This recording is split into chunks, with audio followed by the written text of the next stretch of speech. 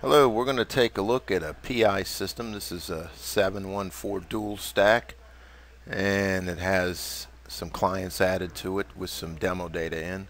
I'm going to go ahead and log on as Train01 which is a user that was created and we'll get him logged on there and you log on and you're into the ABAP system right now and so what I want to do for this guy is I want to go ahead and I want to run the integration builder. So I click on the integration builder, SXMB underscore IFR, and this will bring up a web page for us.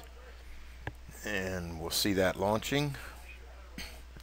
And there you go, you're in a process integration. This is a menu.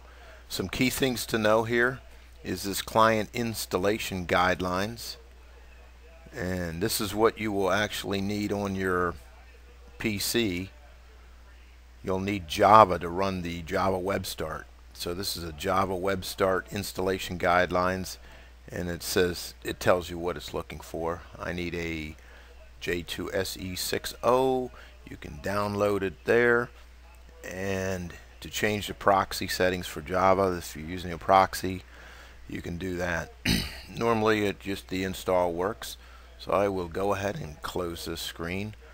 And let's go ahead and fire up this Enterprise Service Builder. And that launches another menu which I'm going to go ahead and log on.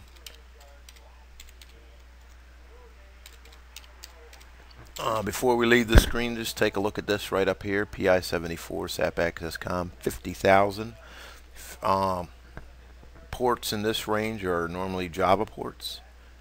And we'll click log on. And we don't need to save the log on. And off it goes starting Java web start application.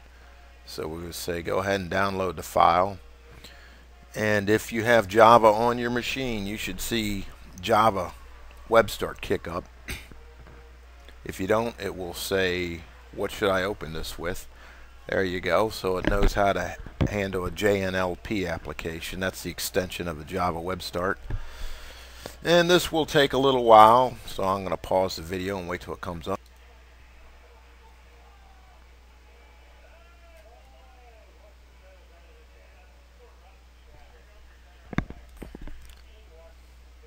Okay, some time went by and now it's finally back to life. Is I'll click on SAP basis here and you'll see that 731 and 740. This is the ESR content that's loaded into the SLD, which we'll take a look at that soon. And if I click on the 731, I will see namespaces.